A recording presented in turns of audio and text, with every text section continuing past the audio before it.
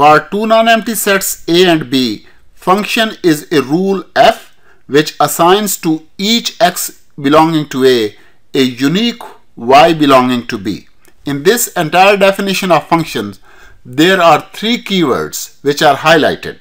The first keyword is the rule f which transforms elements of set A into elements of set B. Number 2. Each x belonging to A. It means that every element of A must have an image in set B. You cannot leave an element of A without having an image in set B or without having a corresponding element in set B. So whether it's arrow diagram or a tabular form, in arrow diagram there must be an arrow originating from every element of set A. And if it is a tabular form, then every element of A must appear in exactly one pair as first element. And the third unique y belonging to B means that every element of A can have only one image. It cannot be associated with two elements. Every element must have an association and that association must be unique. This is the exact definition of function and let's consider an example. Here we have a set A in which there are five Canadian cities and set B is a set of integers which has few numbers. Now the set A is associated with set B with rule of transformation and that rule of transformation is named as f. Let's make that rule with the help of an arrow diagram and name this as f. It is important that you create this linkage because that linkage shows the name of rule is f which transforms elements of A into elements of set B. Now what is the rule here in this case? F is the rule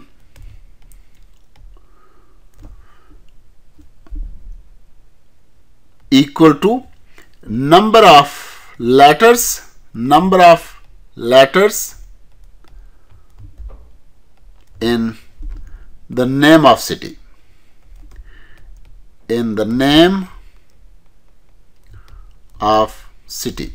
This is the rule that first element of set A is Winnipeg. It has eight letters in the name of this city. So Winnipeg must be associated with 8 here. So let's build this association. Calgary has 7. So Calgary must be associated with 7. And Toronto has exactly 7 letters. So we can associate Toronto with 7. Brandon is also associated with 7 because this also has 7 elements and Montreal is associated with 8 because it has 8 elements. Now you can see that every element of A has an image in set B because there is an arrow which is originating from every element of set A. So the condition of each x belonging to A is fulfilled. If there were two arrows originating from the same element of A, then the condition of unique would have been violated. Now there is Winnipeg has only one association and that is equal to 8. Sometime some students confuse that 7 is an image of so many cities but we are not talking about the elements of B. We are talking about elements of A. Every element of A has an image, number 1. and number two every element has a unique image Montreal has a unique there is only one image of Montreal which is 8 Brandon has only one image that is 7 7 could be image of so many other but the Montreal only has one image. So we just take look on these conditions and if those conditions are satisfied then we say that this rule f is a function. If we were to use tabular form even then we could see that every pair uh, let's write down down that uh, tabular form of this function. So f is equal to Winnipeg. Winnipeg. To 8 and Calgary. Calgary is 7 the third pair is Toronto. Toronto that has 7 and Brandon has 7 as well Brandon.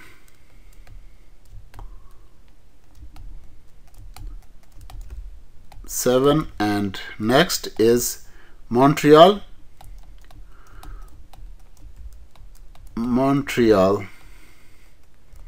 And Montreal has 8 so this relation which is named here as F you can see that every element in the domain let's write down the domain of F domain of F is equal to set A. Every element of A is appearing in exactly one uh, pair, ordered pair as first element. So domain of F is equal to A and the second condition was that domain of F contains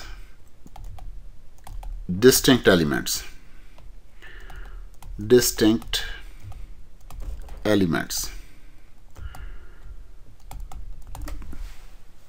These are the two conditions which we learned from previous lesson. So whether we use those two conditions from previous lesson for a relation to be called a function or we take a look on these two conditions which we have defined in this definition of function that for each x belonging to a there must be a unique y belonging to b. I repeat that every element of a must have an image and every element must have only one image.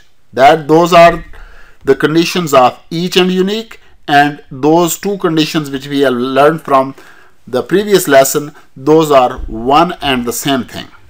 So here we want to have a contradictory example. Example here is that give an example of a relation. Give an example of a relation of a relation f from R to R which is not a function which is not a function. There are thousands of examples which we can give but let's take this example that here we have two sets. Let's make this set as set A and there is another set set B and here is set A. This does contain among so many other elements if this contains 16 and this contains minus 4 and plus 4. The rule which combines A with B where A is in fact equal to R and B is equal to R as well and name of this is F and F is the rule is equal to is square of. Square of. Means element of A is square of element of B. Means element of A is square of element of B. Then 16 must have two combinations or two transformations or two linkages. Here two arrows. Because 16 is a square of minus 4 and 16 is also square of plus 4 you can see that 16 appears twice as